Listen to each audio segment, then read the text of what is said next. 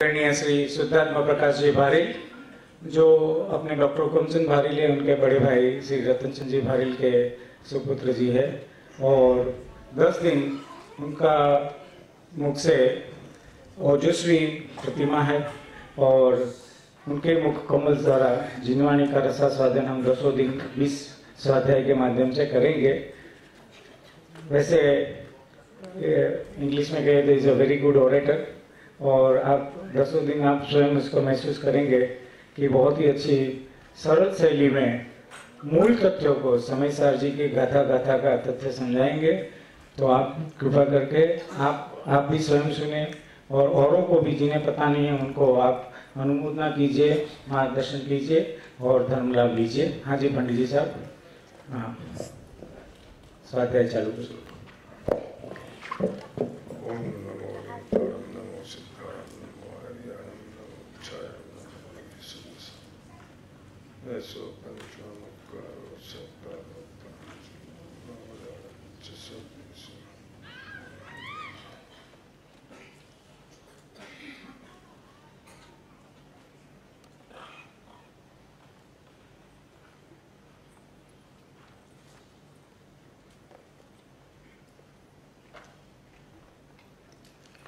दस लक्षण महाप्रभु की आराधना शुरू हो गई है और सब लोग भौक सकते में हैं कि होगा क्या। सबकी शक्लें दिखाई दे रही हैं। कुछ होगा नहीं। जैसा चल रहा है वैसे ही चल रहा है।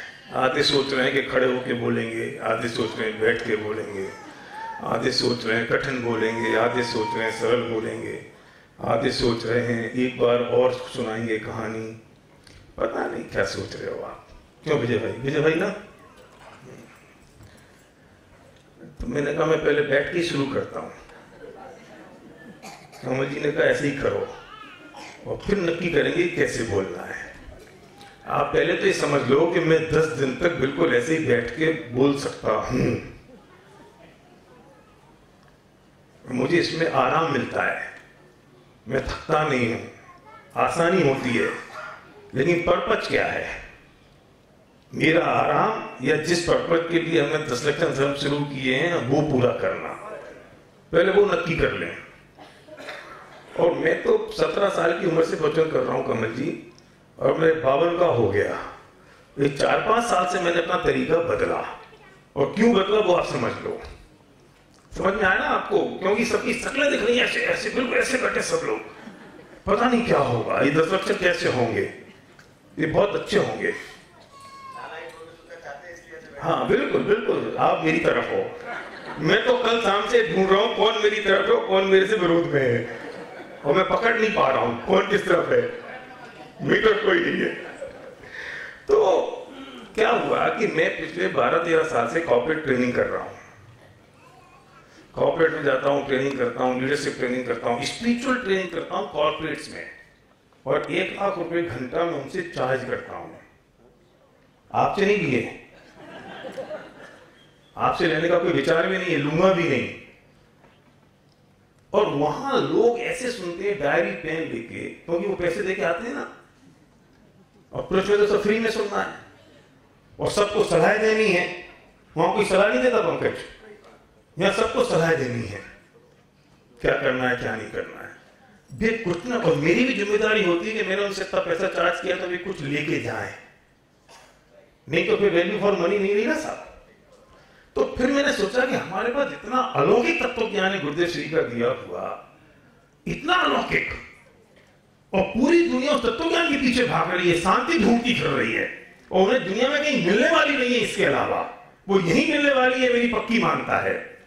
तो इस बात को अगर हम उस ढंग से प्रस्तुत करें, जिस ढंग से हम दूसरी चीज़ प्रस्तुत कर रहे हैं तो क्यों ना लोगों का काम यहाँ हो जाए। तो फिर वही संकट। ओहो, खड़े होके बोल रहे हो।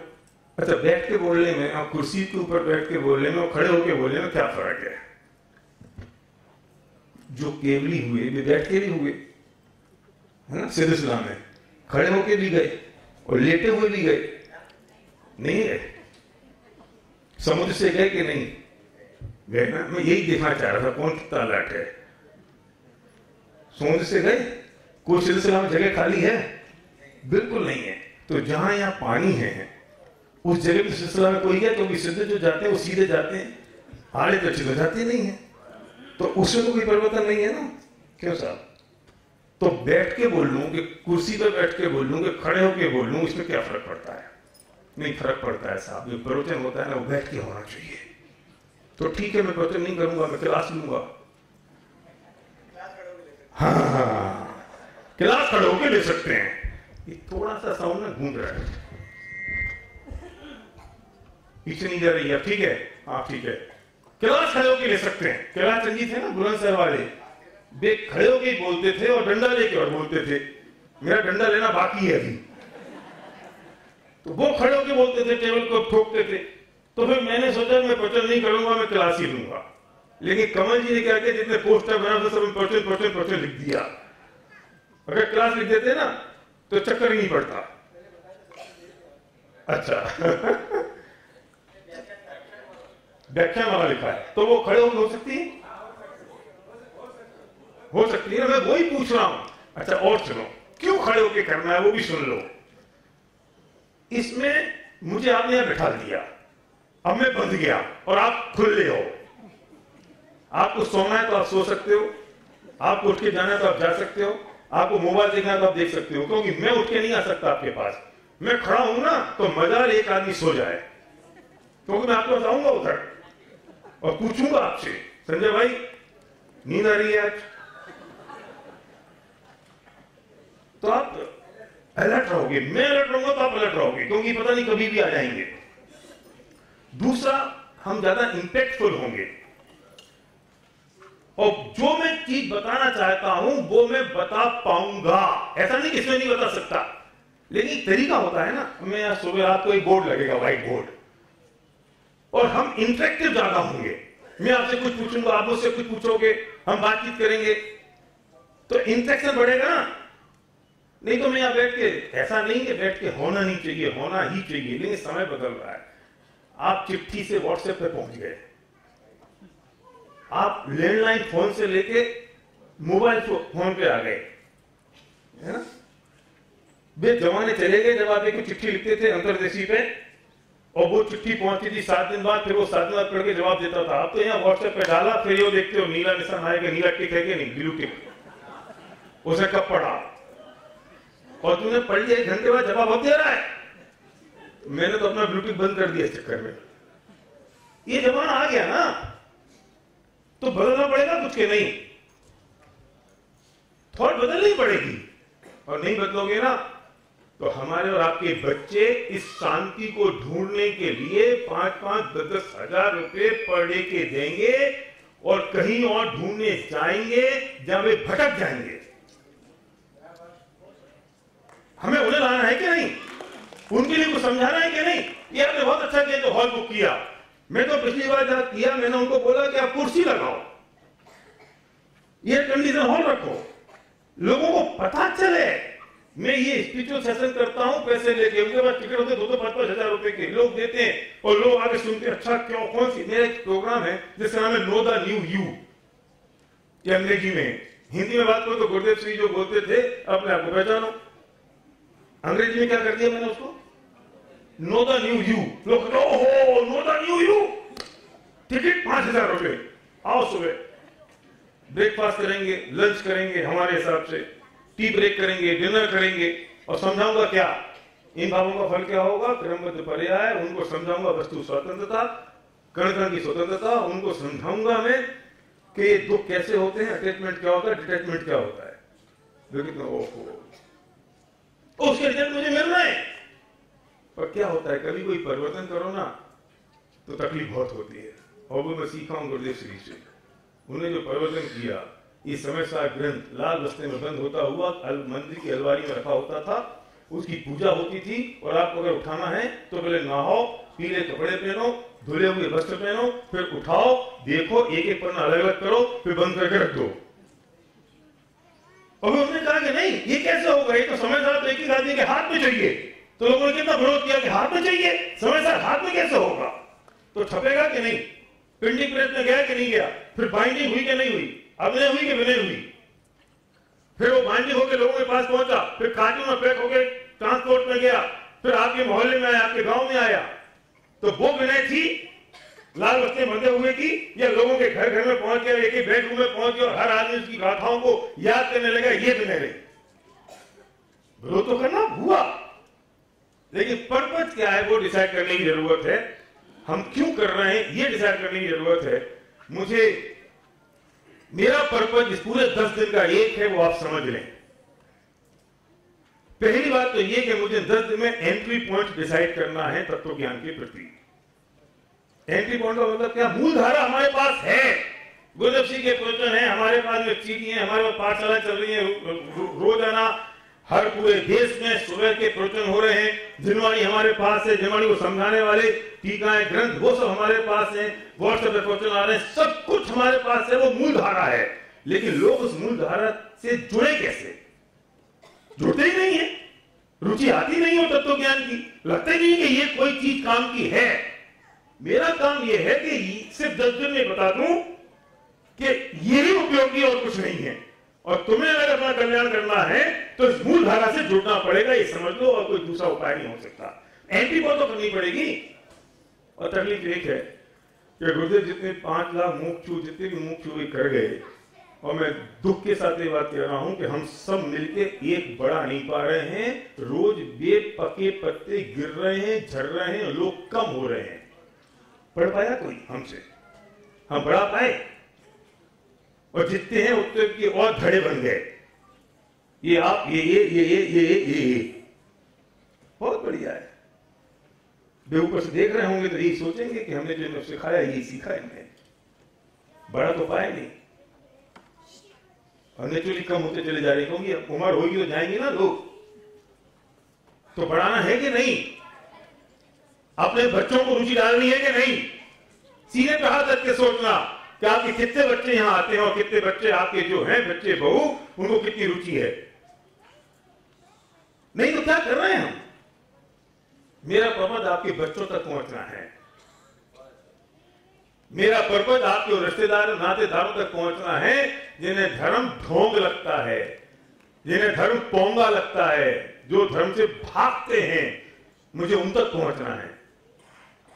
और मुझे आप तक इसलिए पहुँचना है कि जो आज तक पढ़ा, माफ़ करना, वो अंदर उतरा या नहीं उतरा?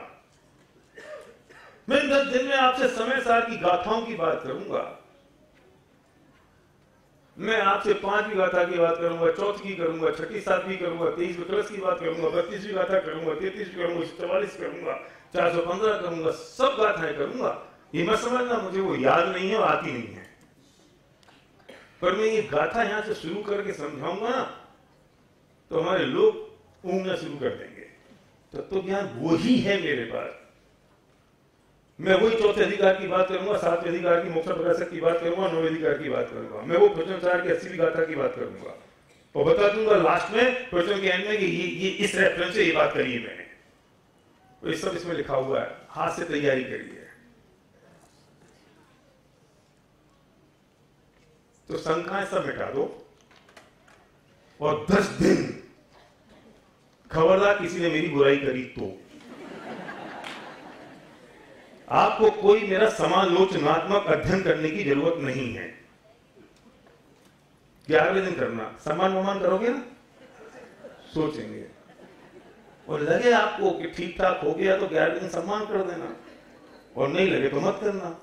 और सम्मान में जो बोलना हो बोल देना, नहीं बोलना मत बोलना, पर दस दिन कोई नहीं बोलेगा क्योंकि दस दिन आप बोलोगे तो मुझे तो असर पड़ेगा नहीं, मैं पब्लिक का आदमी हूँ, मैं तो ऐसे झटका देता हूँ अपने अंदर से। आपको कुछ नहीं कहूँगा। लेकिन आपका नुकसान हो जाएगा। क्यों? क्योंकि आप इस दृष्टि से देखोगे, क्या अच्छा हुआ, क्या बुरा हुआ। इनने कैसा बोला? ये तो बोला, ये नहीं बोला, ये और बोल सकते थे। आपकी आप पत्रकार थोड़ी हो। जो एक पिक्चर है, इस पिक्चर के बारे में वो समालोचनात्मक अध्ययन करता है। और आनंद नहीं ले पाता पिक्चर का। आपको अगर आनंद लेना है तो दस दिन के लिए अपने ब्रेन को चेंज कर दो माइंडसेट को चेंज कर दो, और ये सोचो कि ये जो बोल रहे हैं, वो बात मुझे समझ नहीं है, और आज तक मालूम नहीं थी तो मुझे समझ में आ गई, मालूम थी तो मेरी पक्की हो गई। और अलर्ट होकर सुनना पड़ेगा। और कल से आपको डायरी पेन लानी है। क्योंकि मैं जब इतनी मेहनत कर रहा हूँ तो आपको भी थोड़ी मेहनत तो करनी पड़ेगी। आज शाम से आ जाएगी। कुछ तो लिखना पड़ेगा। तैयार तो होना पड़ेगा। और जो शंकाएँ हो, वो मुझे पर्ची पकड़ा देना तो अगले बच्चों में उसको सॉल्व करूँगा, करने की कोशिश करूँगा। ये हमारा तरीका होगा। पर ये पूरी मेहनत मैं नहीं करूँगा, थोड़ी सी आपको भी करनी पड़ेगी। और एक काम करना पड़ेगा कि एक आदमी को आज शाम से सिर्फ़ एक आदमी को और लेके आना है, बस। और कुछ नहीं करना। अब मैं खड़ा हो जाऊँ? चलो, धन्यवाद। थैंक यू और हम रोज जिनवाणी विराजमान करेंगे, उसकी वजह यह होगी कि हम जिनवाणी की विनय के साथ बात करेंगे। अगर जिनवाणी विराजमान नहीं होगी तो मेरा सेमिनार हो जाएगा। और जिनवाणी विराजमान होगी तो हम इस विनय के साथ होंगे कि हमें जिनवाणी माता की चर्चा करनी है और जिनवाणी से बाहर एक शब्द की बात भी नहीं करनी। इसलिए जिनवाणी विराजमान होगी, प्रतिदिन, और हम जिनवाणी छुट्टी प्रतिदिन करेंगे और जिनवाणी की चर्चा करेंगे। समस्या ये है कि ये दस दिन। अब आप लोगों को जहाँ बैठना वहाँ बैठना यहाँ बैठना यहाँ बैठना, नीचे बैठना नीचे बैठना। जैसे अच्छा लगे वैसे बैठना, कोई दिक्कत नहीं है। ऊपर ही बैठना क्यों नीचे तो लोग भर जाएँगे। कुछ तो करें काम। बैठो बैठो नहीं नहीं नहीं आप तो बैठना। अरे भाई साहब, आप एक घंटे थोड़ी खड़े रहोगे। हाँ मुश्किल हो जाएगी। नहीं नहीं नहीं आप एक घंटे नहीं खड़े रहोगे। मैं ही खड़ा रहूँगा, बस। तो मुद्दा ये है कि हमें अगर अच्छी चीज़ मिली तो एक आदमी को नहीं बता सकते। सिर्फ़ एक। वो आपका दोस्त है, मित्र है, रिश्तेदार है, आपका नातेदार है, कोई नहीं मिले तो पड़ोसी।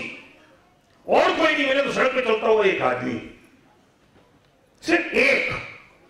कहना यार, मेरे पास बहुत बढ़िया चीज़ मुझे मिल गई है, और मैं चाहता हूँ कि तू उसे एक बार सुन ले। मेरे ख्याल से आपके दिमाग में चल गया होगा, आपको किस एक को लेके आना है? साकेत साकेत? कोई नहीं मिले ना तो अपने एम्प्लॉय को ले आना। वो तो मना कर नहीं सकता। उसको तनख्वाह चाहिए कि नहीं? अरे वो एम्प्लॉय ये लेकिन भगवान आत्मा है कि नहीं? भगवान आत्मा तो है। वो उसका कल्याण तो हो सकता है। तुम्हारे बच्चे हो सकता है, नहीं सुने। एम्प्लॉय सुन लेगा। मेरी मेरी, मेरा काम तुम्हारे बच्चों तक पहुँचना है। लेकिन अगर बच्चे तुम्हारे नहीं सुन रहे हैं तो मुझे खाना खाने बुलाओ।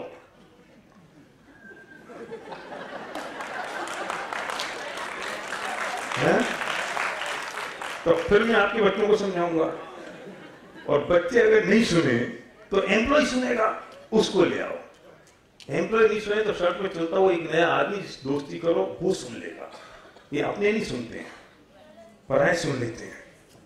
और आपका काम है तो एक आदमी को लेके आना, बस सिर्फ़ एक। हो सकता है? सिर्फ़ एक को।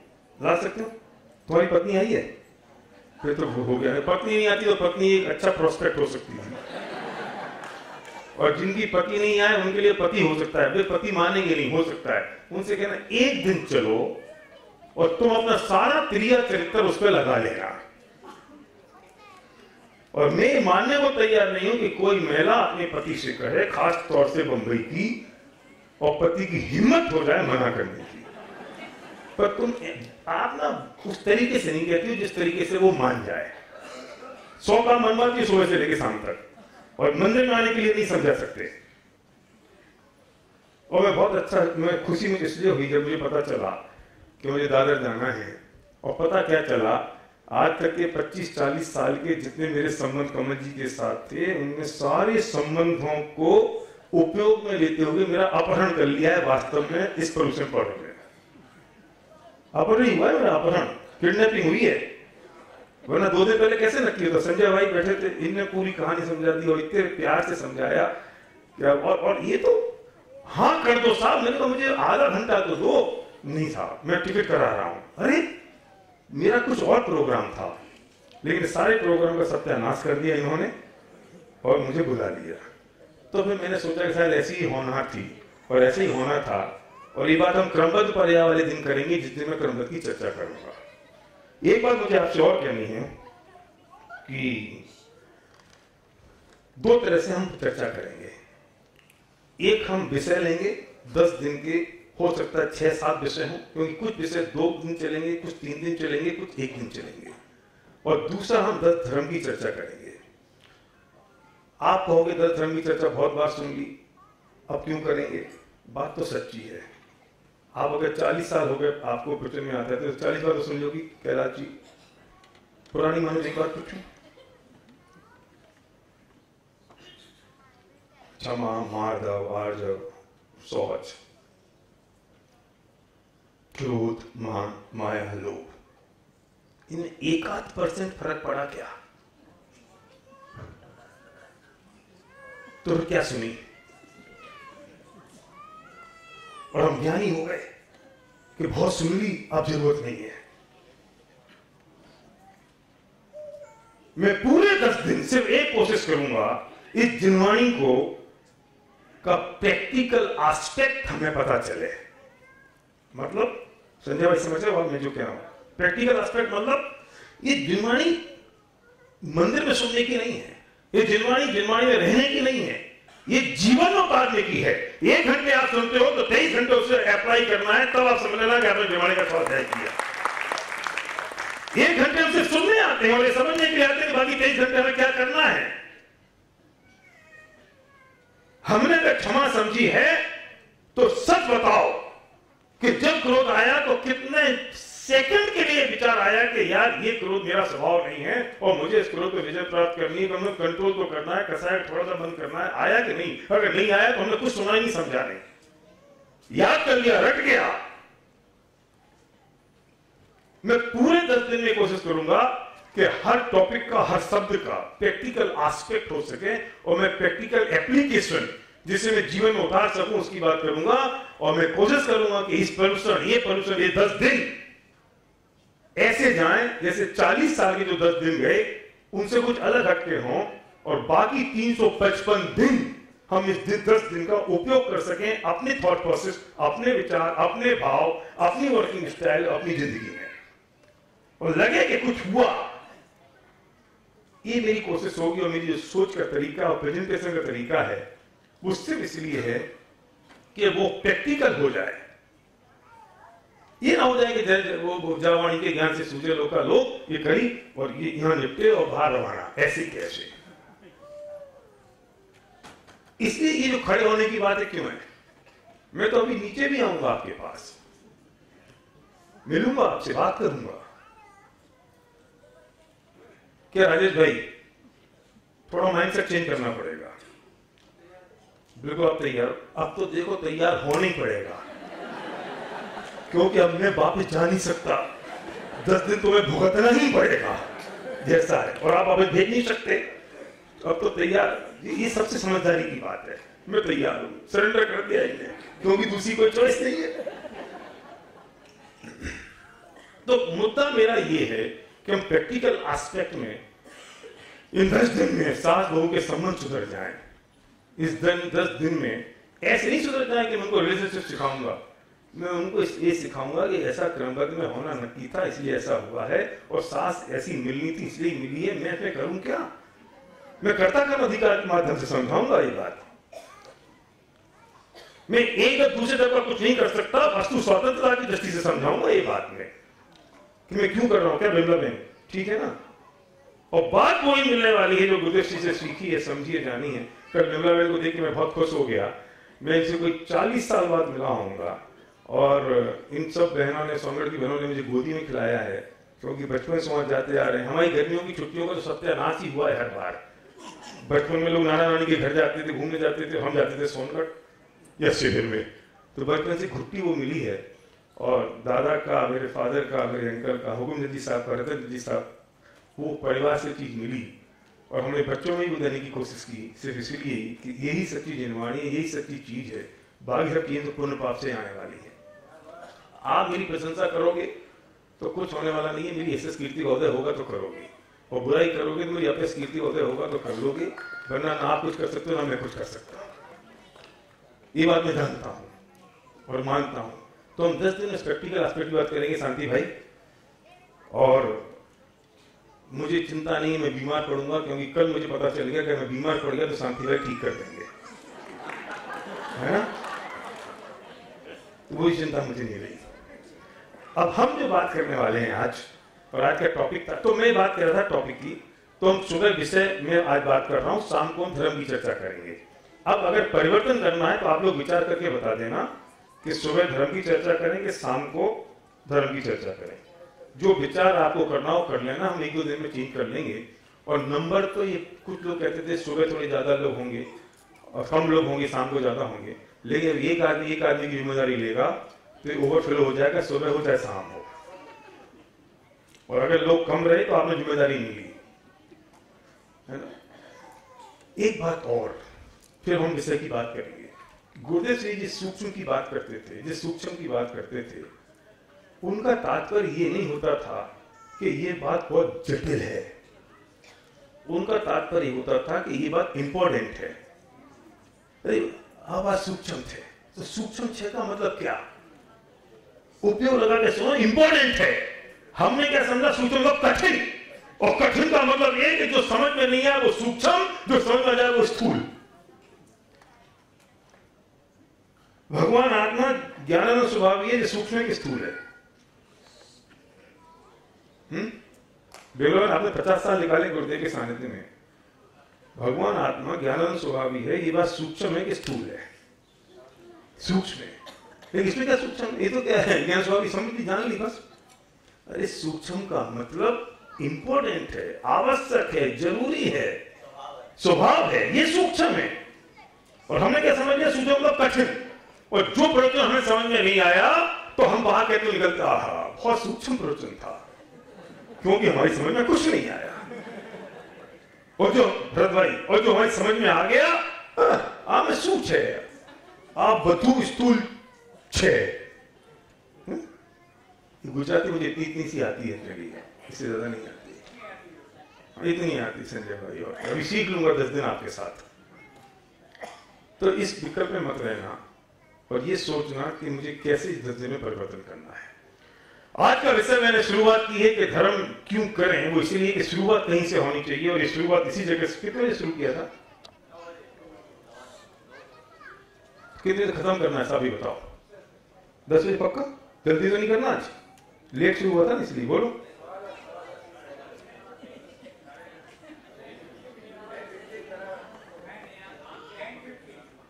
टेन फिफ्टीन ना? ठीक है। बस आप बता देना जब तक दस ना? ठीक है।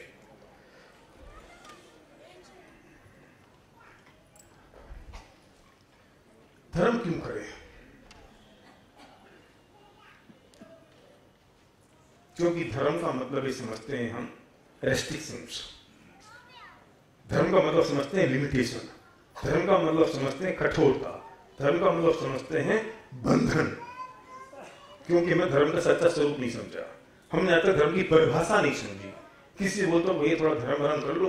तो तुरंत उसके दिमाग में स्पार्क होता है कि ये छोड़ना पड़ेगा, ये छोड़ना पड़ेगा, ये करना पड़ेगा, ऐसा करना पड़ेगा, वैसा करना पड़ेगा, ऐसा मुश्किल हो जाएगी, वो एक तकलीफ़ हो जाएगी। इसलिए नहीं भैया, अभी नहीं। अभी उम्र नहीं आई, जब उम्र आएगी तब करेंगे।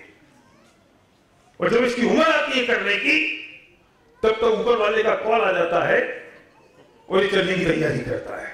और फिर से कहते कर ले। ये उम्र आने में तब कर सकता है, जब ये जवानी में करे तो बुढ़ापे में धर्म होगा। अगर ये जवानी में नहीं करेगा तो बुढ़ापे में कुछ होने वाला नहीं है। फिर कढ़ाता रहेगा, कुछ बचेगा नहीं। और ये बात क्यों कहता है कि मुझे बुढ़ापे में करना है? पंकज, क्योंकि सच्चे स्वरूप को समझा नहीं है, धर्म का मतलब क्या होता है? रोहित, तुमसे किसी ने कहा, धर्म करो, भैया, थोड़ा धर्म करने लग जाओ। तो आप क्या कहते हो? अरे, हम तो कमाने धमाने के दिन हैं। अभी कमा लेने दो, उसके बाद धर्म करेंगे, बुढ़ापे में। क्यों? तुम्हारी कमाई आकुलता रहित तरीके से हो जाए, इसीलिए हम तुमसे कहते हैं कि धर्म करो। ये तो होना है, लेकिन आकुलता को तो निकालना पड़ेगा ना वहाँ से। जीवन में शांति रहे, इसलिए कहते धर्म करो। लेकिन हमने समझ लिया। लिमिटेशंस हमने समझ लिया रेस्ट्रिक्शंस और हमने प्रेजेंट भी ऐसे किया। हमने समझ लिया कठोरता, तकलीफ़, परेशानी। इसलिए हमारी नई पीढ़ी, हमारे लोग छिटक के चले गए। अलग हो गए। मैं भी कुछ दिन पहले एक मोमडन फैमिली से मिला, मुसलमान थे। मैंने ऐसी बात करते करते करते मैंने पूछा, तुम्हारे रोजा सब लोग रखते हैं? रोजा। बोले हाँ सब लोग कितना कठिन है वो काम। आपको पता है, थूक नहीं गुजर सकते। रमज़ान में तो मेरा सब रखते हैं, बोले हाँ मैंने कहा, कोई नहीं रखे तो? बोले, वो सच्चा मुसलमान नहीं। मैंने कहा, नहीं माने तो हम उसे निकाल देते हैं। मैंने कहा, गजब हो गया। तुम्हें तो ये संकट ही नहीं है कि किसी व्यक्ति को तुम्हारे धर्म की रुचि है कि नहीं है? तुम्हें संकट ही नहीं है कि लोगों को धर्म के प्रति आकर्षित करना है? क्योंकि वे सब हैं और हमारा संकट कितना बड़ा है। हमारा बच्चा नहीं आता। हमारा बच्चा नहीं समझता। क्या सही है, क्या गलत है, उसकी बात मत करना। उदाहरण समझना उदाहरण के लिए। क्यों? क्योंकि उनने जोड़ दिया उसे किसी अच्छाई और बुराई से, उनने जोड़ दिया उसे जन्नत से और जहन्नुम से। तो अभी डर के मारे काम करने लगता है बिना समझे होगे लेकिन हमारी बात क्या है कि मैं अगर किसी से कहता हूँ, तुझे धर्म में रुचि होनी चाहिए, तुझे धर्म करना चाहिए तो वो तकलीफ़ में इसलिए आता है क्योंकि उसको लिमिटेशन और रेस्ट्रिक्शन दिमाग में आते हैं, क्योंकि उसे धर्म की परिभाषा पता नहीं है। उसे धर्म की परिभाषा मालूम नहीं है। वो जानता नहीं है कि रियल धर्म क्या है। तो हम आज धर्म की परिभाषा समझेंगे। डेफिनेशन और धर्म की डेफिनेशन आप समझेंगे, उससे पहले ये नक्की करो कि क्यों करें धर्म? डेफिनेशन समझेंगे ना। तो नीट क्रिएट करनी पड़ेगी कि नहीं? कोई भी चीज़ को करने से पहले उसकी नीट क्रिएट करनी पड़ती है। ये दुनिया का सिद्धांत है। आपका नाम क्या भाई साहब? नीलेश। जिग्नेश जिग्नेश भाई। जिग्नेश भाई नीट क्रिएट करनी पड़ेगी ना? बिना नीट क्रिएट करे कैसे होगा? आपको अपने बच्चे को भी लेके आना तो क्रिएट करनी पड़ेगी ना। पंकज तुम किसी को कहते हो कि तुम्हें ये प्रोटीन खाना है या ये विटामिन खानी है तो क्यों खाए? उसको बोलना पड़ेगा, उसकी नीड क्रिएट करनी पड़ेगी। तो नीट क्रिएशन इंपॉर्टेंट है। तो मैं नीड जब तक क्रिएट नहीं करूँगा, तब तक मुझे पता नहीं चलेगा धर्म क्यों करना है तो नीट क्रिएट कैसे करें? उसके पहले नक्की करना पड़ेगा कि हम वास्तव में दुखी हैं या नहीं हैं। हम वापस जा रहे हैं। दीपक भाई है ना जा रहे हम दुखी हैं। मैं ऐसे एक सेशन ले रहा था तो एक व्यक्ति बोला, हम तो दुखी हैं ही नहीं। मैंने कहा बड़ा संकट हो गया, क्योंकि आज तक जब तक मैंने बात करी तो हर एक आदमी कहता है, हम दुखी हैं। दौलत राम जी के चढ़ाला में जीते वो में जीवन और सुख चाहे दुख तेरे तो मुझे कुछ समझाना नहीं पड़ता उनको कि भैया तो नकली है जो दुखी है। लेकिन एक भला आदमी खड़ा हो गया, हम तो दुखी नहीं है। अब कैसे समझाऊं? बोलता मैं दुखी नहीं हूँ। मैंने कहा बहुत अच्छा है। ये, ये आप हाथ ऐसे क्यों रखे हो? तो आपने ऐसे क्यों कर लिया? बोलो ना। है? ऐसे क्यों? रिलैक्स। रिलैक्स का मतलब क्या? दुख से छुटकारा पाना। ऐसे मैंने उससे पूछा तू दुखी था ना तब तू ऐसे रखा था अब तू ऐसे कर लिया। तो ऐसे रख रखे तो दुखी हो गए तुम, ऐसे कर लिया, ऐसे दुखी हो गए तो ऐसे हो गया, ऐसे करते करते तो ऐसे हो गया।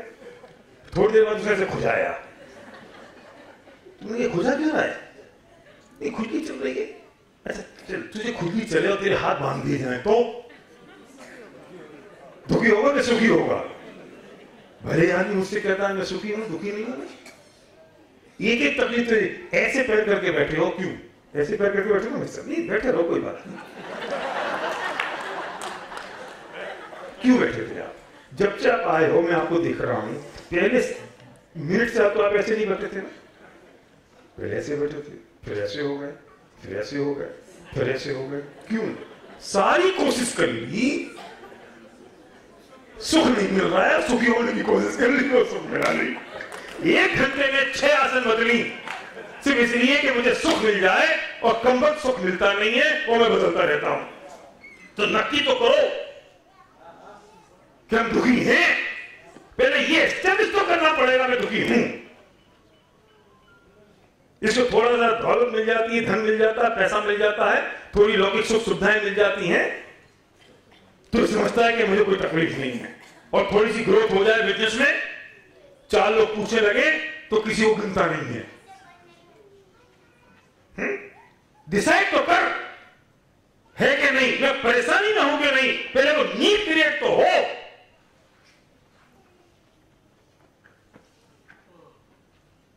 ये जो मैं बीच में पॉज देता हूँ ना पॉज ये इसलिए नहीं देता हूँ कि मैं भूल गया। मतलब ये मैं समझना कि मैं भूल गया। मैं पॉज इसलिए देता हूँ कि आपका दिमाग सोचे, चले। जागृत रहे, आपको लगे तो हाँ यार, मैं करता काम सुबह से लेकिन शाम मैं दुखी हूँ कि नहीं हूँ। और ये जो पॉज ना, मैं बैठे बैठे नहीं दे सकता। क्योंकि पॉज दूँगा तो एक्शन करना पड़ेगा, आँखों से देखना पड़ेगा। पॉज दूँगा तो टटोलना पड़ेगा आपको। तो बैठे बैठे काम होगा नहीं। और अब अभी भी आप फ़र्क देखो, मैंने पंद्रह मिनट बैठ के बोला, उसमें मैं खड़े होकर बोल रहा हूँ, फ़र्क नज़र आ रहा है आपको कुछ? आपके अलर्टनेस में मेरे में नहीं। मुझे दस दिन काट नहीं, मैं कैसे तैसे करके काट लूँगा? ऐसे नहीं बोलू? चलो, आपने कह दिया तो नहीं बोलूँगा। अलर्टनेस का फ़र्क है ना। तो मैं जो पॉज दिया, वो इसलिए कि आप सोचो तो सही, हो गए नहीं।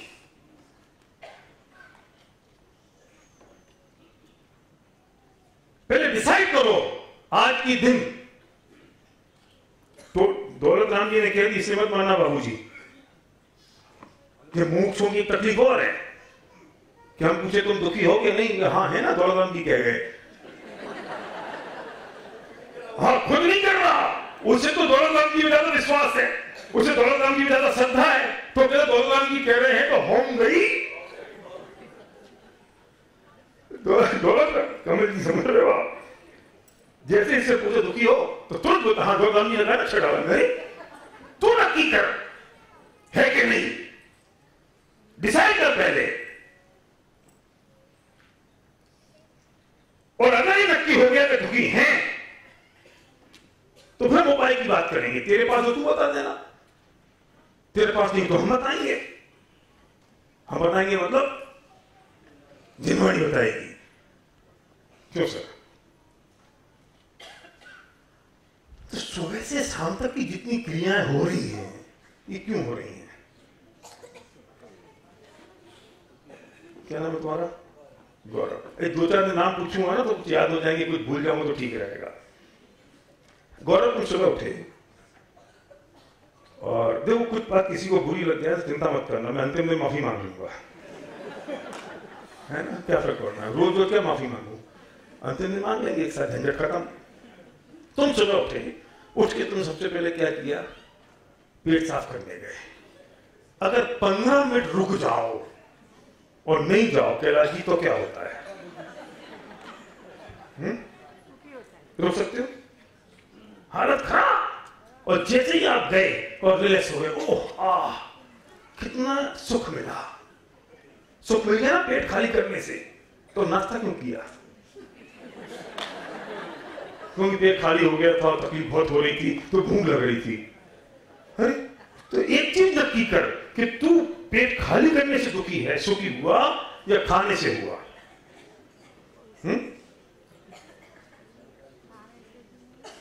लेटे लेटे आठ घंटे हो गए। उठते क्यों है?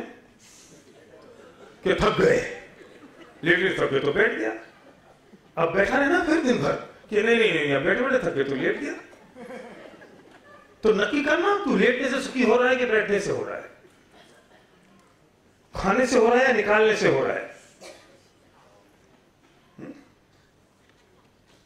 अब बहुत एक प्यास लग रही है, कोई आदमी आधा गिलास पानी दे दे तो सुखी हो जाएँगे ना? हाँ और जब वो प्यास लगती है आधा गिलास पानी मिलता तो ऐसा स्वर्ग में पहुँच गए। तो पानी से सुखी हो रहा है तो एक आध मटका पी ले ना कि वो नहीं पी सकते। तो नक्की तो कर। कि किस चीज़ से सुखी मिले लेकिन सुबह से शाम तक जितनी हमारी क्रियाएँ हुई ये सारी क्रियाएँ सिर्फ़ एक काम के लिए है जरा ऑब्ज़र्व करो नरेश सिर्फ़ सुखी होने के लिए सुबह से शाम तक की सारी क्रियाएँ आप व्यापार कर रहे हो काम कर रहे हो नौकरी पे जा रहे हो बिज़नेस कर रहे हो क्यों ब्रश कर रहे हो लेटिन जा रहे हो खाना खा रहे हो बाल बना रहे हो खुजा रहे हो कपड़े पहन रहे हो क्यों क्या शांति भाई। सुबह से लंच के शाम तक की सारी क्रियाएँ अगर कोई पूछे कि मैं सुबह लेकर शाम तक क्या काम करता हूँ तो एक ही उत्तर है कि मैं सुखी होने की कोशिश करता हूँ। कोशिश क्यों? कि अगर सुखी हो जाता तो अगले स्टेप की बात करता। और हो पा नहीं रहा हूँ, और कोशिश करता जा रहा हूँ। टेस्ट एंड ट्रायल चल रहा है तो कंप्लीट हो नहीं रहा। हुँ? क्या नाम है आपका? श्रीपाल। अगर हो जाता तो अगले दिन सुबह वो तो नहीं करते ना जो आज सुबह किया था। है? तो नहीं हुआ ना? तो क्या कर रहा हूँ भरत भाई? सुबह से शाम तक? सुखी होने की ट्राई कर रहा हूँ कोशिश कर रहा हूँ। और हो नहीं पा रहा हूँ। अच्छा ये कोशिश कब से चल रही है, है? अनादिकाल से। होगी पूरी। तो कितने महान है हम लोग कि एक ही चीज़ की कोशिश अनादिकाल से करते आ रहे हैं और वही वही वही करते जा रहे हैं और रिज़ल्ट नहीं मिल रहा है फिर भी हम कम वक्त वही करते रहते हैं। कुछ कोशिश भी नहीं कर रहे कि अगर एक चीज़ से रिज़ल्ट नहीं मिल रहा है तो परिवर्तन कर लें। व्यापार में करते हैं। अगर एक काम करते करते करते रिज़ल्ट नहीं आ रही है तो तरीका बदल दो। एक प्रोडक्ट अगर लॉस में जा रहा है तो प्रोडक्ट को रिमूव कर दो। ज़िंदगी में क्या किया जीवन में क्या किया अनुभव में क्या किया अनाधिकाल से लेकर आज तक लगातार प्रतिदिन प्रति पल हर काम सिर्फ़ सुखी होने के लिए कर रहे हैं और सुखी नहीं हो पा रहे हैं। इससे बड़ा दुर्भाग्य क्या होगा? क्या दुर्भाग्य होगा इससे ज़्यादा? और फिर सोचने को तैयार नहीं है। फिर सच्चा सौ कहाँ मिलेगा? उसकी कल्पना करने को तैयार नहीं है। और मिल जाए तो स्वीकार करने को तैयार नहीं है। और स्वीकार हो जाए तो उसे अप्लाई करने को तैयार नहीं है। तो क्या होगा? अनंत काल तक ऐसे चलता रहेगा। डर लग रहा है कुछ के नहीं अनादिकाल से करते आ रहे हैं और आज तक हुआ नहीं, और ऐसे ही चलता रहा तो अनंत काल तक ऐसे करते रहेंगे तो भी होने वाला नहीं है। और इस संसार में परिभ्रमण होता चला जाएगा। क्यों संजय भाई, बोलो। ऐसा हो रहा है ना? तो ऐसा तो हो नहीं सकता कि संसार में सुख ना हो। क्योंकि कुछ तो सुखी हो गए हैं ना। है तो सही। लेकिन हम उस जगह पहुँच नहीं पा रहे हैं जहाँ पहुँचना चाहिए। तो जो सुखी हो गए वो मार्ग बता रहे हैं तो हम सुनने को तैयार नहीं है। दस दिन में हम उस मार्ग की उस चर्चा करेंगे, उस बात की चर्चा करेंगे कि जो आज तक सुखी हो गए हैं, वो किस मार्ग पर चल के, किस रास्ते पर चल के, किन सिद्धांतों को अप्लाई करके अपने जीवन में उतार के वो सुखी हुए हैं, हम सिर्फ़ उसकी चर्चा करने वाले हैं। वो समझ आ जाए और एक स्पार्क हो जाए। स्पार्क शब्द का प्रयोग कर रहा हूँ मैं। स्पार्क कैसे होगा कि एक चीज़ को बार बार बार बार देखते देखते कभी ऐसा होता है ऐसी बात थी। हाँ हम्म? चिंगारी चिंगारी पैदा हुई। और तुरंत ये सब निकलते हैं कि, ओहो, मुझे तो इन बातों की खबर ही नहीं थी। जब, सुनो, जब ये स्पार्क हो, चिंगारी, और ये निकले कि अहो मुझे तो इन बातों की खबर नहीं थी तो ये मत समझना कि ये बात तुमने ज़िंदगी में, जीवन में पहली बार सुनी है। ऐसा नहीं है। वो बात तो कई बार सुन चुके, असंख्य बार सुन चुके, अनंत बार सुन चुके। हमारी का जीव, जब आदिनाथ के समोसे में बैठा था तो सुन रहा था कि नहीं? तब नहीं आई उसको ये बात कि हो, मुझे इन बातों की खबर नहीं थी। लेकिन दो कर्ण की दाढ़ी मुनिराज जंगल में आए और शेर की पर्याय में उन्हें सिर्फ़ इतना सा कह तू कर क्या रहा है? तू चौबीस तीर्थंकर होने वाला है। और ये बात सुनते ही स्पार्क आ गया। हो मुझे तो इन बातों की खबर नहीं थी। तो आदिनाथ से समझ में नहीं आई और दो मुनिराज से समझ में आ गई। मनुष्य पर्याय समझ में नहीं आई और दिन पर्याय समझ में आ गई। समोसा में समझ में नहीं आई और जंगल में समझ में आ गई। तो ये मत समझना कि आज जो बात इतने बार सुन चुके अब दूसरी बार सुनोगे तो क्लिक नहीं करेगी। ये जिस वक्त ये योग्यता पकेगी। और ज्ञान की ऐसी योग्यता पकेगी, चर्चा वो ही होगी। जी ने रहस्यों चिट्ठी में लिखा है, जब तुझे समय दर्शन होता है तो कुछ नया नहीं होना है। पढ़ना मोक्ष कह सके रहस्यों चिट्ठी। कुछ नया नहीं होगा। ये जो चलता आ रहा है वो ही होना है। है ना? क्यों बहन? वो ही होना है। लेकिन कब ये वक्त आएगा? और कभी लगेगा कि बस। अरे, इतना सरल दर्शन है। ऐसा दर्शन है। और तुरंत आनंद की अनुभूति होगी, बस तुरंत। वो जो सरलता की अनुभूति होगी, आकुलता रहित अनुभूति होगी, वही लग जाएगा, ओहो, ये दर्शन है। तो तत्व ज्ञान का मतलब जीवाणी का मतलब इस जीवन में जितने अनादि काल से हम दुखी हैं, उसका सॉल्यूशन निकालना है, बस। और कुछ नहीं है। दुखी ना अनादिकाल से। तो नक्की हो गया ना? तो अब हमने क्या एस्टेब्लिश किया कि हम दुखी हैं? ये तो एस्टेब्लिश हो चुका। तो अब दुखी है तो रास्ता चाहिए ना। हम आपको इतनी सी बात कहने नहीं आए कि भैया तुम दुखी हो दुखी हो दुखी हो बचाओ दुखी हो, पहले एस्टेब्लिश करो। और दुख को मिटने का उपाय भी जिनवाणी के पास है, उसे समझ लो। और उसका मतलब क्या है? वो मतलब धर्म है। तो डेफिनेशन क्या रही? जिस डेफिनेशन की हम बात कर रहे थे, कि धर्म का मतलब लिमिटेशन कठोरता बॉन्डिंग बाउंडिंग नहीं है। धर्म का मतलब आनंद है। बात अपोजिट है। बच्चों से कहो कि धर्म कर लो तो उनकी दिमाग में लिमिटेशन जाती है। नहीं है वो। उसका मतलब आनंद है, पर वो आनंद कैसे मिलेगा? ऐसे आनंद सबको याद रखना। इसे मैं काम में लूँगा बाद में। बोर्ड मंगा देना साकेत शाम को। अब जो आनंद है, धर्म का मतलब ये कैसे है?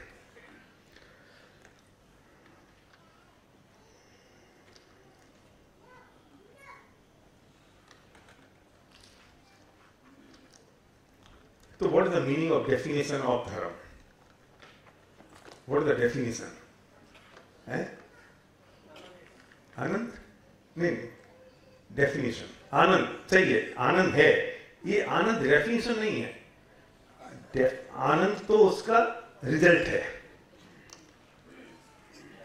हाँ हाँ वो रिज़ल्ट है उसका आनंद रिज़ल्ट है लेकिन परिभाषा क्या हुई धर्म कहते किसे हैं राइट हम बात कर रहे हैं कि धर्म कहते किसे तो मैंने शुरुआत करो। मैं बार बार रिपीट इसलिए कर रहा हूँ कि हमें कनेक्टिविटी बैठनी चाहिए कनेक्टिविटी बैठना ज़रूरी है ना? अगर कनेक्टिविटी नहीं बैठेगी तो आउट हो जाओगे। तो हमने शुरुआत कहाँ से समझी? कि एस्टेब्लिश करो, हम दुखी हैं। फिर हम कहाँ पहुँचे? कि अगर एस्टेब्लिश कर लिया हम दुखी हैं तो धर्म का मतलब लिमिटेशन होता है बॉन्डिंग होता है, परेशानी, कठोरता होता है। नहीं, उसका मतलब आनंद है। तो आनंद हो जिस धर्म का मतलब जिस धर्म का रिज़ल्ट आनंद निकले, वो धर्म है क्या? वो धर्म की डेफिनेशन क्या है? कैलाश जी। कि वस्तु का जो स्वभाव है, वो धर्म है। प्रश्न सार में कह गए कुंद कुंद वस्तु स्वभाव वो हम अभी होता क्या है वस्तु का स्वभाव? वस्तु का जो स्वभाव है, वो धर्म है। तो वस्तु का स्वभाव क्या है? पानी का स्वभाव क्या है? शीतलता है। अग्नि का स्वभाव उष्णता है और खून का स्वभाव जमना। खून का स्वभाव क्या हो गया? खून का स्वभाव बहना है है ना? सही सही कह रहे हो आप। खून का स्वभाव क्या है? बहना है। अग्नि का स्वभाव उछड़ता है, जल का स्वभाव किसी चीज़ को ऊपर फेंका। क्या स्वभाव है उसका? नीचे आना उसका स्वभाव है। न्यूटन ने उसकी परिभाषा बदल दी कि उसे गुरुत्वाकर्षण कहते हैं, वो अलग बात है। स्वभाव क्या है उसका? कि जो चीज़ ऊपर गई, वो नीचे आ गई। टायर का स्वभाव क्या है? जो गाड़ी के अंदर टायर चलता है। फटना! अगर तुमने मान लिया टायर फट गया आपकी गाड़ी का तो आप टेंशन में हो। और अगर मान लो कि टायर का स्वभाव तो फटना है ही तो तुम्हें टेंशन होगी।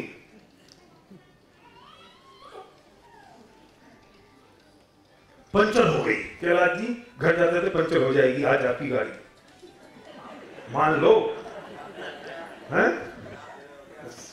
लोग कह रहे शराब दे रहे हैं, बताओ। चिंता मतलब होगी नहीं। पर मान लो, हो गई तो कितना गुस्सा आएगा? कितनी तकलीफ़ होगी? अरे तरीका आएगी बताओ लोग कील फेंक देते हैं सड़क पे आ गई। और आपको पता लग टायर का स्वभाव तो फटना है। तो गुस्सा आएगा, तकलीफ़ होगी, परेशानी होगी। स्वभाव है ना तो फट गया ना। मैं क्या करूँ? एक ट्रांसपोर्टर ने मुझसे कहा था कि भारत साहब, अगर हम लोग टायर फटने से डरने लग जाएँ तो ट्रांसपोर्ट का धंधा नहीं कर सकते।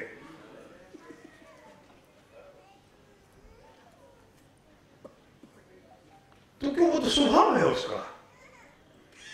मैंने कहा, यार, इसको तो बिल्कुल समय दर्शन हो गया लगता है।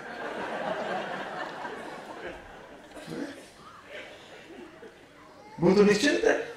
क्योंकि उसे मान लिया तो स्वभाव है। आप व्यापार करते हो? कमल जी उधार देते होगे ना तो डूबता होगा तो फिर रात को नींद नहीं आती होगी। ये बाल तो इसलिए चले गए।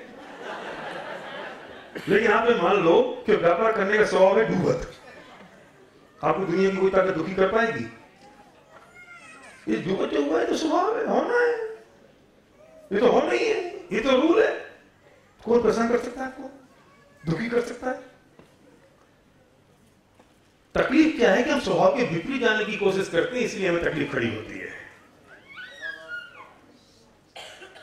जब तक हमें समझ लेंगे कि स्वभाव क्या है अच्छा रुपए का स्वभाव क्या है? रुपए का, रुपए पैसे का, लक्ष्मी। हाँ ठहरना है ही नहीं। अगर ये समझ में आ गया कि रुपए का स्वभाव मूवमेंट है आना जाना है तो 8 नवंबर को तकलीफ़ होती क्या?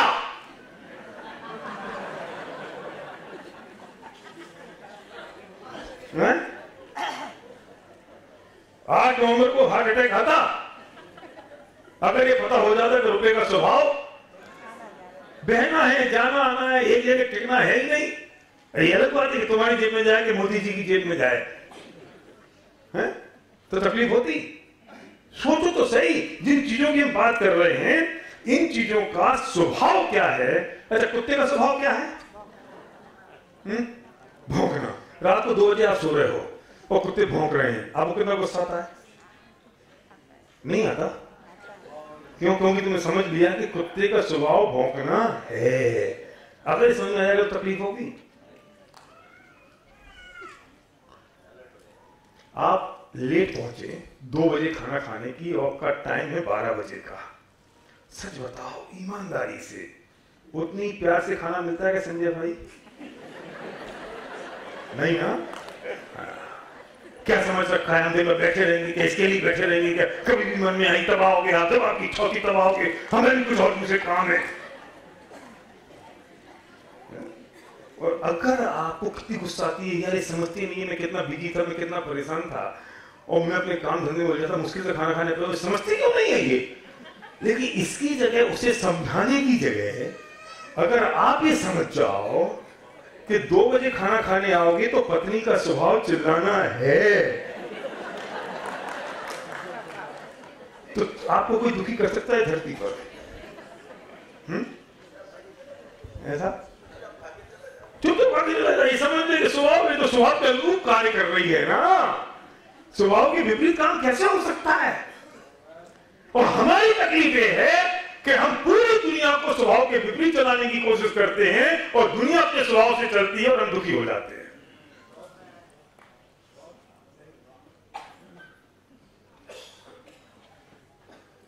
विवाह कैसे पैदा होता है?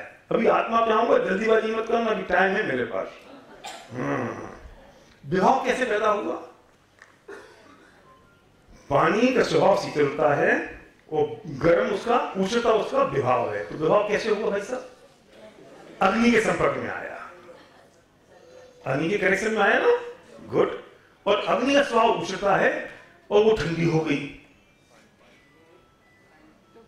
ठंडी हुई तो ठंडापन उसका विभाव हुआ कि नहीं हुआ? है ना? स्वभाव उष्णता है और ठंडापन उसका विभाव हुआ। तो विभाव क्यों हुआ? क्योंकि वो किसी पानी के संयोग में समझ लो कि पानी के संयोग में आई तो वो अपने स्वभाव से विभाव में परिवर्तित हो गई। ये खून का स्वभाव लेना है और खून निकल जाए तो हवा के संयोग में आया तो जम गया। ठीक है ना? परफेक्ट रुपए का स्वभाव बहना है मूवमेंट करना है, और वो आपके पास रुक गया। तो आपके संयोग में आया, इसलिए रुका ना? क्यों? हाँ। अब मैं कहना चाहता हूँ कि किसी चीज़ का कोई भी चीज़ कोई भी वस्तु अपने स्वभाव से अगर विभाव में परिवर्तित हो रही है तो स्वतः नहीं हो रही है। वो किसी का संयोग हो रहा है इसलिए वो स्वभाव से विभाव में जा रही है। हम्म, ठीक है ना? देखो मैं उतनी आपकी भाषा में सूक्ष्म बात को स्थूल करके बता रहा हूँ। मैं ऐसे कठिन शब्दों का प्रयोग भी कर सकता हूँ जो आपको समझ में नहीं आए। लेकिन चर्चा वही प्रवचन सारा समय की कर रहा हूँ मैं उससे भटकूँगा नहीं, ये प्रतिज्ञा है।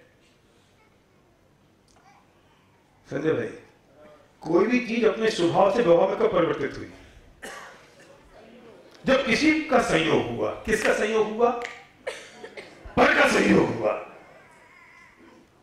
पर का संयोग हुआ तो कोई भी वस्तु अपने स्वभाव से विभाव में परिवर्तित हो गई। पानी में अग्नि का संयोग पानी में अग्नि का संयोग हुआ और उष्णता में पानी अग्नि में पानी का संयोग हुआ तो तो क्या हुआ? विभाव परिवर्तित हो गया। तो जब पर का संयोग होगा तो वस्तु स्वभाव से विभाव में परिवर्तित हो जाएगी। इस सिद्धांत को अभी साइड में रखो। बाद में वापस लेके आएँगे। अभी आनंद भी रखा है ना साइड में क्या दोस्त का नाम है? शीतल। हाँ शांति भाई का बेटा है। क्या बोला मैं अभी? आनंद को साइड में रखा है? अभी दूसरा क्या साइड में रखा? हम्म? पर को संयोग हुआ तो स्वभाव से विभाव में आया। न्याय समझ में आ रहा है? गुड तो पर का संयोग हुआ, स्वभाव से विभाव में आ गई अब ये आत्मा का स्वभाव क्या है? अब पानी का समझ लिया, अग्नि का समझ लिया, उदाहरण तो सारे याद हो गए। पर आत्मा का स्वभाव भी कुछ है कि नहीं? है? थोड़ा ज़ोर से बोलो, मैं ऊँचा सुनता हूँ। जानना देखना। यह तो दृष्टात्मा का स्वभाव है। पक्की बात है? कैसा स्वभाव है? जैसा पानी का शीतलता है। तो जब पानी को पर का संयोग मिला तो पानी स्वभाव से विभाव में परिवर्तित हो गया। हुँ? तो मेरा जो स्वभाव जानना देखना है, और हो क्या रहा है? मैं करता धरता बना हूँ। और ये करता धरता क्या है? ये स्वभाव है कि विभाव है, निकिता? विभाव है ना? तो जानना, आत्मा का स्वभाव जानना देखना है, और विभाव करता धरता है। तो ये जो विवाह हुआ करता धरता ये क्यों हुआ? पर का सहयोग मिला। हमने भी क्या पॉलिसी रूल बनाया था कि पर का संयोग होगा तो वस्तु स्वभाव से विभाव की ओर परिवर्तित हो जाएगी और पर का संयोग हटा दोगे तो स्वभाव में वापस आ जाएगी। आत्मा का स्वभाव जानना देखना है, आत्मा का स्वभाव ज्ञाता दृष्टा बना है, लेकिन पर पदार्थ का संयोग मिला। और पर पदार्थ में क्या हुआ? मूल कारण अपना राग। अपना राग अपना पद और अपना ये कर्मों का उदय। और कर्मों का उदय क्यों आया? क्योंकि मैंने ये विपरीत श्रद्धा की और ये विपरीत माना कि ये मेरा है। तो इसलिए जो आत्मा का स्वभाव जानना, देखना था, वो परिवर्तित होकर करता धरता पाने में शामिल हो गया। तो जब पर संयोग हट जाएगा तो वस्तु जो विभाव में परिवर्तित हुई, वो स्वभाव में आएगी कि नहीं? अग्नि हटी तो पानी ठंडा हुआ कि नहीं? तो जब अग्नि हटी तो पानी ठंडा हुआ, और ये जब माना कि मैं इसका कुछ कर सकता हूँ तो जो ज्ञान दर्शन और जो ज्ञाता दृष्टा पर जो आत्मा का स्वभाव था, वो करता धरता पड़ी में हो गया। तो ये जो पर का संयोग आया कि मैं इसका कर सकता हूँ, ये मान्यता। अब हाईलाइट क्या करना है? मान्यता। क्यों? क्योंकि कर तो सकता हूँ ही नहीं। कर सकता होता तो ये कभी स्वभाव में वापस हो सकता नहीं था। लेकिन कर नहीं सक रहा हूँ। लेकिन ये मान्यता सिर्फ़ है। तो चोट किस पे है? ओहो। कि दो चार लोग ही बोलेंगे कि बाकी नहीं बोलेंगे। चोट किस पे है? मान्यता पर। कौन सी मान्यता? कौन सी मान्यता? अभी मिथ्या मिथ्या थोड़ी देर बाद बात करेंगे मिथ्या की। मान्यता कौन सी? कि ये कर्तृत्व की मानता कि मैं कर सकता हूँ। स्वभाव क्या है? जानना देखना। और मैं मान विभाव क्या है? करता बना मैं महसूस मान कह रहा हूँ कि मैं कर सकता हूँ। तो ठीक किसे करना है? वस्तु में कि मान्यता में? मान्यता में। तो जो मान्यता में ठीक करना है तो जैसी मान्यता थी, वैसी ना मान के उसी उल्टी मानी। तो उल्टी मानी इसका मतलब क्या हुआ? उल्टी मानी मतलब झूठी मानी। और झूठी मानी मतलब मिथ्या माना। और मिथ्या का मतलब मिथ्या दर्शन हो गया। तो मिथ्यात्व हो गया। तो मतलब क्या मिथ्यात्व का कि जो जैसा है, उसे वैसा मत मानो, उल्टा मान लो, ये मिथ्या दर्शन है। और हमें मिथ्या तो क्या हो गया कि आत्मा का स्वभाव ज्ञान दर्शन था, जानना देखना था। मैंने उसे जानने देखने की जगह करता धरता मान लिया और ये जो मान्यता थी, ये मिथ्या मान्यता थी, झूठी मान्यता थी तो चोट किस पे मारू? और मैं कोशिश किस पे कर रहा हूँ? पर संयोगों पर। चोट मारनी है उस मान्यता पर। और मार किस पर रहा हूँ संयोगों पर आपकी वजह से मुझे गुस्सा आया आपकी वजह से मैं लेट हो गया। किसी वजह से लेट हुआ तो? किसी करने से कुछ हुआ? ये तूने माना ना तो ठीक किसको करना है? दूसरे को ठीक करना है, अपने को ठीक करना है, भाई साहब। वो मैं ठीक करने में किसको लगा हूँ है? अच्छा और ये जो मान्यता थी कि ये जो करता धरता है ये क्यों हुआ? क्योंकि पर का संयोग हुआ। है ना? इससे हुआ ना?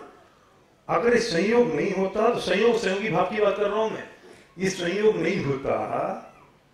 इसके कारण मुझे मान्यता उल्टी हुई ना मेरी पर के संयोग के कारण। तो संयोग को दूर करने की ज़रूरत है, मान्यता को ठीक करने की ज़रूरत है। मान्यता को ठीक करना तो इस मान्यता को ठीक कर दिया तो क्या हो गया? जो मिथ्या दर्शन था वो किसमें परिवर्तन हो गया?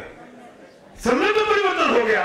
क्यों? समय का मतलब क्या है? बड़ा हुआ नहीं है समय दर्शन। मिथ्या दर्शन का ही तो विपरीत है ना अपोजिट है ना, कि जो तू मान रहा था वैसा नहीं है, ये कुछ और है। तो उस मान्यता को तोड़ा तो वो मिथ्या तो खत्म हुआ और सम्यक में परिवर्तित हो गया। और जैसे ही वस्तु का स्वरूप का ज्ञान हो गया कि वस्तु का स्वरूप ऐसा है तो आनंद की अनुभूति हुई कि नहीं? वो आनंद उठा के लाओ वापिस। आनंद। धर्म का मतलब क्या था? आनंद। और धर्म का मतलब आनंद है ना? और हमने क्या समझ रखा है? लिमिटेशन बंधन, कठोरता, परेशानी, दर्द। बुढ़ापे की चीख। ऐसे बुढ़ापा जवानी क्या करेगी कहलाती है भाई साहब? क्या मतलब धर्म का? नरेश, कि जो वस्तु का स्वभाव है, वो उसका धर्म है। पानी का धर्म शीतलता, अग्नि का धर्म उष्णता, खून का स्वरूप ये रुपए का ये, आपका ये, पत्नी का ये, और आत्मा का जानना देखना। दुनिया के धर्म तो समझ में आ रहे हैं कमल जी। ये अपना धर्म समझ में नहीं आ रहा। क्यों भाई साहब? आपको शंका हुई इस बात में कि अग्नि का, पानी का, पत्नी का, टायर का शंका हुई। रोहित समझ में आया है? लेकिन ये मेरे स्वरूप में शंका क्यों होती है? एक हज़ार उदाहरण दूँगा मैं। सारे एक हज़ार उदाहरण आपको समझ में आ रहे हैं। लेकिन मेरी अपनी आत्मा का मेरा स्वभाव क्या है? राजेश भाई, ये समझ में नहीं बैठता। और इसमें और इसमें क्या फ़र्क है मुझे समझाओ। आप मोबाइल लेके आते हो ना, और इतने सारे व्हाट्सएप आ जाते हैं तो वो मोबाइल हैंग हो जाता है? हम्म? बहुत सारा हैंग हो गया। तो आप क्या कहते हो? अच्छा हाँ ये तो इतना डेटा होगा तो मोबाइल तो हैंग हो गई ना। इसमें कौन सी बड़ी बात है? तो आप रिलैक्स हो गए ना? क्यों? क्योंकि आपको पता है कि इस मोबाइल का स्वभाव हैंग होना है। आपको आपको पता नहीं होती? और अगर आपको ये पता ना हो कि मोबाइल का स्वभाव हैंग होना है तो आप उठा के फेंक दो बाहर। क्या यार, परेशान कर रखा है बाबा बार अटक जाता है। नहीं चाहिए मुझे, फेंक दो इसको। तो अगर वस्तु का स्वभाव समझ लोगे तो दुनिया की कोई ताकत नहीं है जो मुझे दुखी कर सके। मैं अपने आनंद आ जाऊँगा। तकलीफ़ क्या है कि मैं अपने स्वभाव को समझ नहीं पा रहा हूँ? मैं वस्तु के स्वभाव को नहीं समझ पा रहा हूँ, अपने स्वभाव को नहीं समझ पा रहा हूँ, इससे मुझे परेशानी खड़ी हो रही है। तो धर्म का मतलब वस्तु के स्वभाव को समझना है। धर्म का मतलब कुछ करना धरना नहीं है। तो ये धर्म बुढ़ापे में करें जवानी में करें? तो ये बुढ़ापा अपन करे, कोई और करे? ये जैनी करें जैनी करें? ये कौन है? किसका ये धर्म? इसलिए कहते हैं कि धर्म यूनिवर्सल है, इसलिए शाश्वत इसलिए हर एक का है, क्योंकि धर्म की परिभाषा ही कुछ और है। हमने धर्म की परिभाषा कुछ और बना दी। हमने धर्म की परिभाषा ये बना दी। मैं नहीं कहता हूँ कि व्रत, उपवास, पूजा, पाठ ये सब नहीं हो। होना ही चाहिए। एक धर्म से क्या मतलब है उसका? ये तो होगा ही। आवश्यक क्रियाएँ हैं एक धर्म का मतलब क्या? और हमने गाथा पढ़ ली, वस्तु स्वभाव धर्मो हो गया काम खत्म। लेकिन वस्तु स्वभाव धर्मो का मतलब क्या? हम आए रात को, सब बहुत अच्छी व्यवस्था आप लोग कर रहे हो, बहुत ख्याल रख रहे हैं कमल जी, शांति भाई, आप सब। लेकिन कुछ तकलीफ़ तो है ही ना। मैं घर पे जिस तकिया पे सोता हूँ, और जितनी हाइट की तकिया है उस हाइट की तो नहीं है ना। पर मैंने संध्या से क्या कहा? घर से बाहर निकलेंगे, प्रवचन करने जाएँगे तो ये स्वभाव है कि तकलीफ़ तो होगी। अब मुझे कोई दुखी कर सकता है? मैं जिस टेम्परेचर के पानी में नहाता हूँ, वो तो मुझे यहाँ नहीं मिल रहा है ना। ठंडा निकल रहा है, गर्म निकल रहा है। तो मैं दूसरे के बाथरूम में नहाऊँगा। ये तो स्वभाव है ना। और ये मैं मान लू तो मुझे कोई तकलीफ़ हो सकती है? हम्म? तो कौन धरती में मुझे दुखी कर सकता है क्यों संजय भाई, बोलो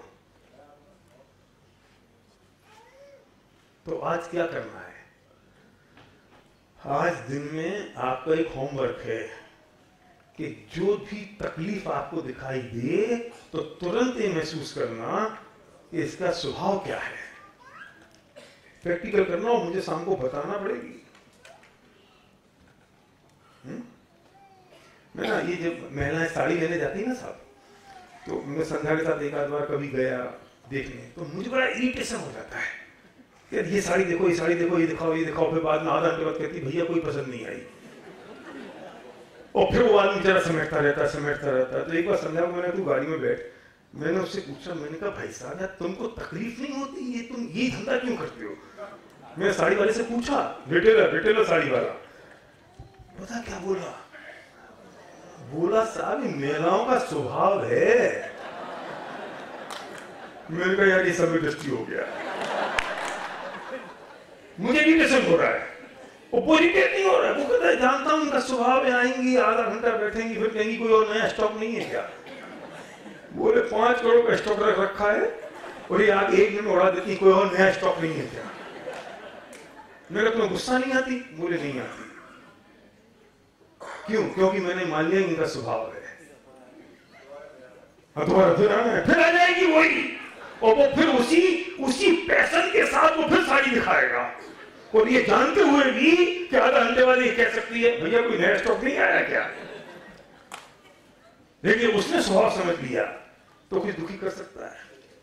मैं अगर ये मान लू कि मेरा स्वभाव करता धरता नहीं है, मेरा स्वभाव तो सिर्फ़ जानना देखना है, और जो हो रहा है मुझे सिर्फ़ जानना है, मेरा स्वभाव सिर्फ़ साक्षी बना है। मैं अगर साक्षी भाव पैदा कर लू तो मुझे कोई ताकत नहीं जो मुझे दुखी कर सके, और ये मान्यता कि मेरा स्वभाव जानना देखना और साक्षी बना है करना धरना नहीं है, बस ये धर्म है। अब ये बात, वो जो आनंद रखा था ना हमने कहीं साइड में अब उसे वापस लेकर आओ। कि अगर ये तुमने स्वीकार कर लिया और ये चिंतन कर लिया तो क्या पैदा होगा? आनंद होगा ना? हम्म? धर्म का मतलब आनंद है। कब? जब सिद्ध हो जाएँगे तब? है?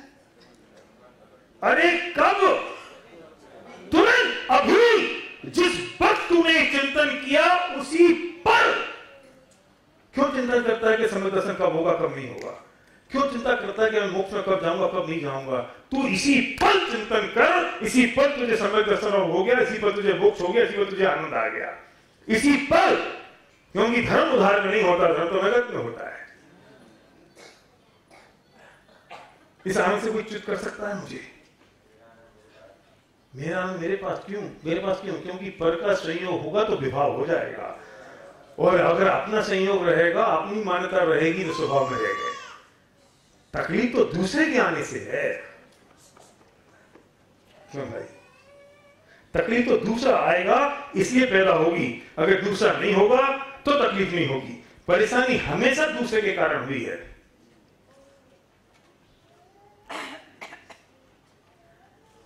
अगर ये चीज़ हट जाएगी तो आनंद कहीं से लेके आने की ज़रूरत नहीं है।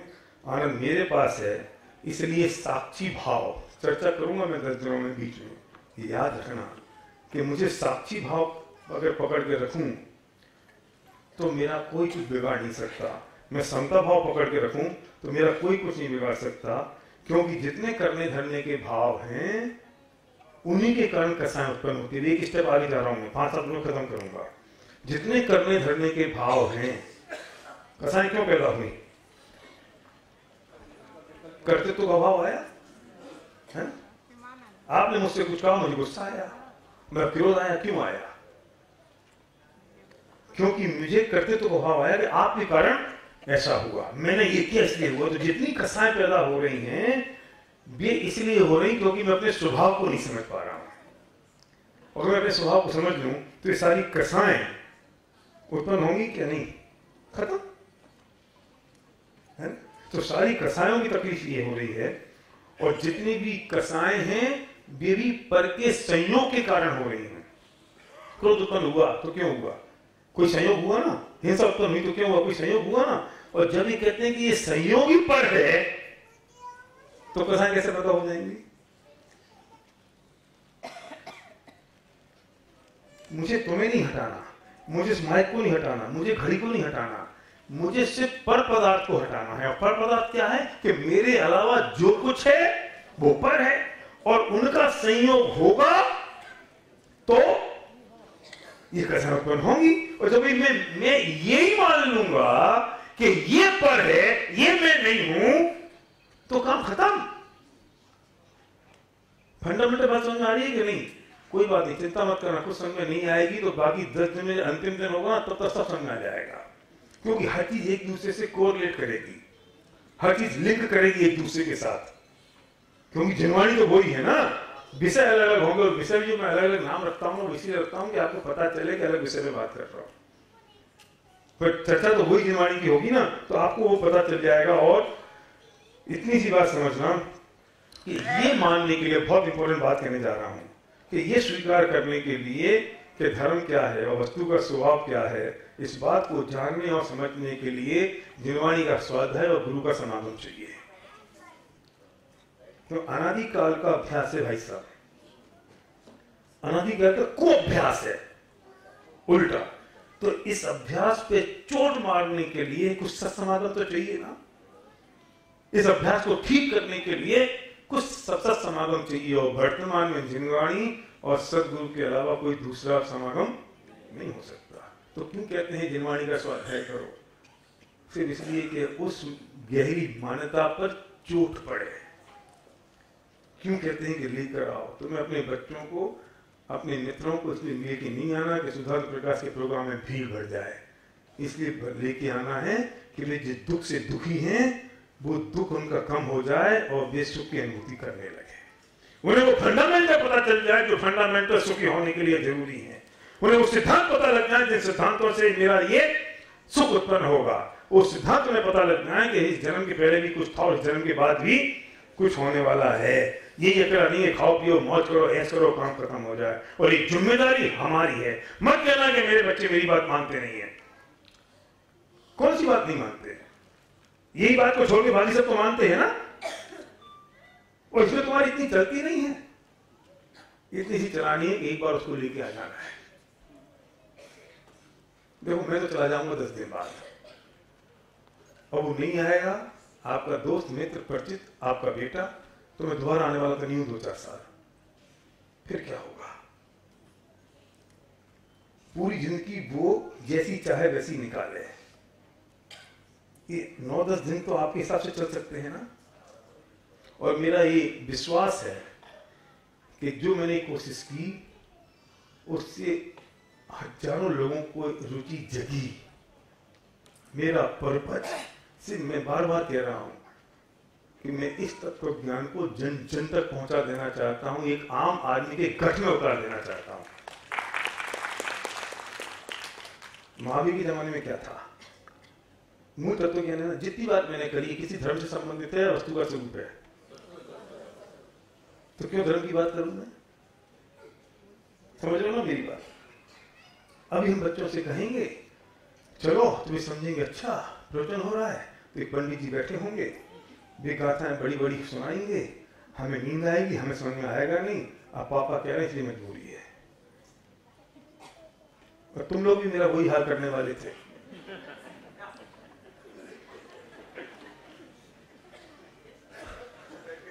हाँ मुझे चाहिए तो वो ही है, धारा तो वो ही है तत्व ज्ञान तो वो है, लेकिन मैं कैसे बच्चे को खिलौना, झुंझुना दिखा दिखा के उसे लेके आ जाऊँ? मेरी बात, नरेश? वे भटक जाएँगे। मैं देख रहा हूँ युवा पीढ़ी को, मैं देख रहा हूँ लोगों को, और मैं देख रहा हूँ धर्म गुरुओं को। भीड़ पड़ रही है। लाइन लग रही है उनके पास। क्यों? क्योंकि हरेक को शांति चाहिए। वो हरेक शांति के रास्ते को ढूंढ रहा है। लेकिन असली शांति तो कुछ और है।